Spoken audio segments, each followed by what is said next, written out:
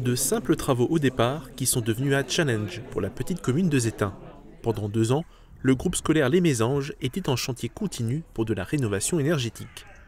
Mardi soir a eu lieu l'inauguration de fin de travaux. Artisans, parents, enseignants, élèves et élus ont joué le jeu pour maintenir l'activité dans de bonnes conditions durant cette période, malgré certains imprévus. C'est sûr que ça a été long. Euh, long parce qu'on a eu plusieurs euh, surprises. C'est d'ailleurs à ça que, servent euh, les diagnostics. On fait des diagnostics, on découvre qu'on a de l'amiante et, forcément ça chamboule tout. On est sur un contexte d'école qui nous oblige à travailler soit les mercredis, soit pendant les vacances. Sans compter les aléas climatiques.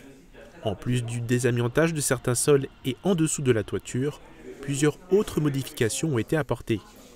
Mise en place d'une nouvelle ventilation, changement de l'éclairage en LED, isolation thermique ou encore isolation des combles.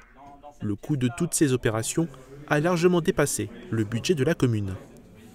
Euh, on se rend compte qu'obtenir des subventions, de plus en plus, il faut fournir des, dossiers techniques. On a besoin de se faire accompagner. Donc là aussi, euh, c'était un, vrai challenge.